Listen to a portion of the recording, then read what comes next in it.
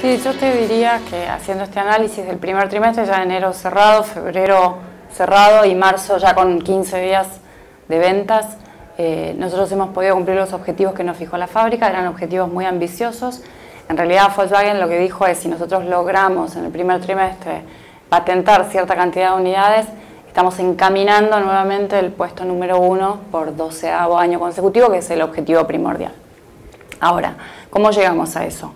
Con una gran disponibilidad de producto, Volkswagen vendió 10.000 autos a la red de concesionarios en cada uno de los meses y venía preparando el stock desde el año pasado. Entregamos muchísima cartera de plan de ahorro, eso nos ayudó eh, a, poder levantar los patentamientos. ¿Por qué entregamos más autos de plan de ahorro? Porque con plan de ahorro lo que hizo la fábrica fue hacer adjudicaciones aseguradas con la integración de 25 cuotas.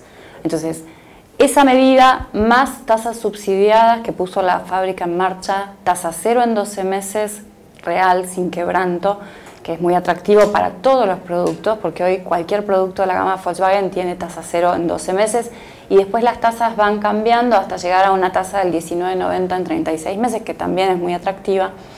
Todo eso ayudó a poner más autos en la calle y lo complementaron con bonificaciones de precio. Entonces, nosotros tuvimos una debilidad que fue la falta de producto en la gama más baja. Sin embargo, con las bonificaciones tácticas que puso la fábrica y la financiación, Hoy, por ejemplo, tenemos un Fox, que es un coche de media gama, no es de la gama más baja. Eh, Comfortline, cinco puertas con bastante equipamiento en 230 mil pesos. Si vos te pones a pensar que es el precio de lista de un app o de un Gol que hoy nosotros no tenemos para entregar. Entonces, ¿qué estamos haciendo? Poniendo producto de mejor calidad al mismo precio del producto que hoy no tenemos. No lo tenemos para la venta en el mostrador, para la venta en el escritorio. ¿Por qué? Porque teníamos tanta cartera de plan de ahorro para entregar y toda la gente que estaba esperando el cambio de año modelo para llegar enero con el coche 2017, que eso hizo que todos los coches que vinieron de Brasil de esas características se entregaran a esos clientes. Por sobre todo, mucha financiación, mucha oferta de financiación, que es lo que hoy está más traccionando la venta. ¿La oferta de financiación por el lado de la financiera de la terminal exclusivamente o hay líneas bancarias que también sirven? Mira, hay líneas bancarias que también sirven eh, hoy, por ejemplo, Banco Provincia sacó una tasa hiper competitiva, estamos hablando del 8% que se actualiza, pero comparado con el 30% que están teniendo los bancos, realmente es muy ventajosa para el cliente. Pero sobre todo nosotros nuestras ventas las estamos basando en plata que está poniendo la financiera de la marca, que es Volkswagen Credit. Eh, el año pasado nuestra marca tenía financiación con un acuerdo con un banco y a partir de noviembre ya tenemos la financiera propia, que la verdad que nos hacía mucho falta porque por un lado Volkswagen está subsidiando tasas y por otro lado la financiera está siendo muy creativo en la parte comercial, poniendo tasas subsidiadas, poniendo eh, productos Valum que están financiando como al estilo Estados Unidos. Eh, yendo más hacia el leasing. Este año van a sacar leasing para personas físicas, no solo para personas jurídicas. Y entonces eso está hoy eh, ofreciendo en el mercado una cuota baja eh, muy atractiva para que la gente cambie el auto. El precio de los usados se está estabilizando, eso también nos ayuda a que la gente se anime a cambiar el auto porque viene con su usado y entiende que la diferencia que tiene que pagar para cambiar a un cero kilómetros ya es más razonable que las diferencias que estábamos manejando el año pasado. ¿Por qué? Porque el mercado del usado es muy transparente. El precio del usado no lo pone la terminal. ¿sí?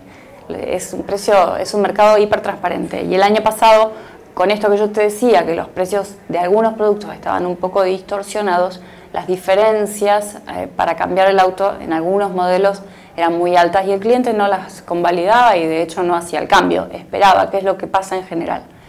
Hoy el cliente está viendo que los precios son más razonables, que los precios de tasación se acercan más a sus pretensiones y entonces eso también nos ayuda. No hay muchos usados en el mercado, están faltando los usados de la gama más baja, digamos, de la franja de precio más baja, que son los que más se venden. A diferencia de los usados de las gamas más altas, que están bastante complicados. Realmente hoy usados de más de 300 mil pesos cuesta venderlos. ¿Por qué? Porque tenés tanta oferta de financiación que la gente elige un cero kilómetro antes que un seminuevo, a diferencia del año pasado, por ejemplo, que era muy buscado.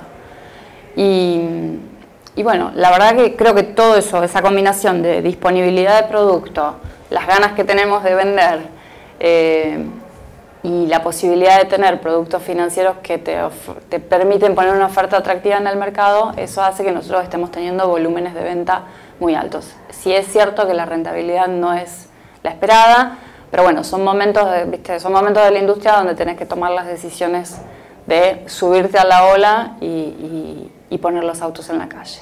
Está claro. Y en este contexto, Soledad, ¿qué lanzamientos proyectan para este año? ¿Qué novedades hay? Mira, justo a fin de mes, este, los mejores 20 concesionarios rankeados de Volkswagen se van a Alemania tres días a la presentación de todas las novedades de producto. Tenemos el privilegio de poder estar entre esos 20 concesionarios y lo que sí tenemos es el anticipo de la Amarok B6 para el Salón de Buenos Aires en el mes de junio. Vamos a tener una preventa exclusiva de 400 unidades para todo el país en el mes de abril para poder entregar al cliente en mayo. Quiere decir que en simultáneo con el Salón de Buenos Aires ya las primeras 400 camionetas van a estar rodando en la calle. De hecho, nosotros tenemos muchos pedidos ya de esa, de esa unidad que, que todo el mundo esperaba en noviembre del año pasado, que se pudo ver en Pinamar, en el stand de Volkswagen este verano, pero que va a estar ya en la calle a mitad de año.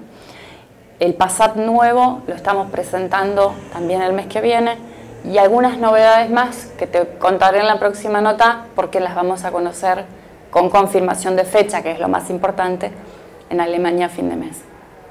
También el Beetle tuvo su renovación y algunas cosas, digamos, siempre hay un restyling a mitad de año, eso siempre se hace, ¿sí? Pequeños, pequeñas modificaciones pero el resto de los lanzamientos, y hay un par muy importantes, eh, inclusive se está hablando de un coche que ya salió en los medios, el presidente Volkswagen, Pablo Disi, contando que están en Pacheco trabajando con la fabricación de un nuevo modelo. Esperemos que eso se pueda concretar y que podamos, eh, llegado el momento, comunicarlo a la prensa, eh, pero estamos trabajando fuertemente para un modelo nuevo fabricado en Argentina que para nosotros es muy importante.